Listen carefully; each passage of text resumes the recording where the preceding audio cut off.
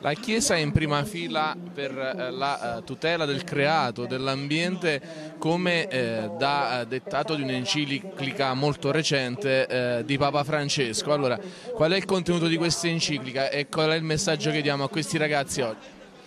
Papa Francesco ricolloca al centro dell'attenzione sull'ambiente e sul creato la dignità e il rispetto della persona quando eh, al primo posto subentra la finanza, eh, l'interesse, è chiaro che è pericoloso lo sfruttamento incondizionato, l'inquinamento, Papa Francesco riportandoci alla centralità della persona ci richiama anche alla grande responsabilità che abbiamo nei confronti della custodia del creato. Ecco, molti casi anche nel Vallo di Diano, tra questi si pensi alla situazione di Terna, l'antenna a Montesano, la gente dice no, quale dovrebbe essere la soluzione in queste situazioni?